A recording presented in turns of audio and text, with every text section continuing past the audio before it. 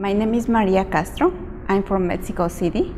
I came uh, eight years ago, so I'm very excited to live here in New York City because I'm a New Yorker. the, the main uh, motivation that I have uh, is because I, I used to be a laboratory technician in Mexico. I had 10 years of experience working in a hospital.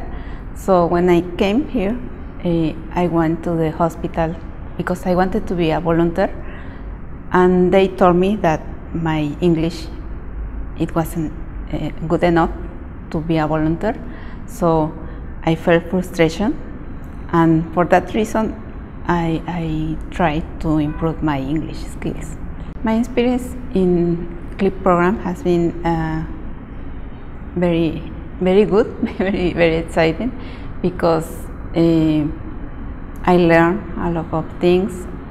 Uh, they help me to improve my skills in reading, writing, my grammar, and I feel more comfortable uh, talking in English because I, I feel my worst, my problem, my main problem is the pronunciation.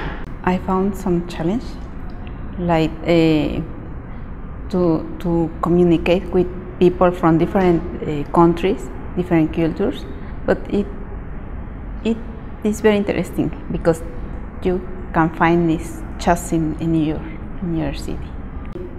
My big desire is to to maybe with eventually I, I to, to be a, a laboratory technician again because I had experience.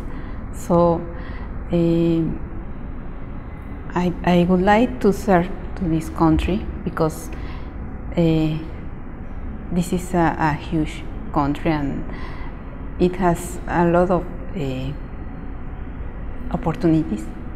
Keep trying and eventually you can reach the, the goal that you have.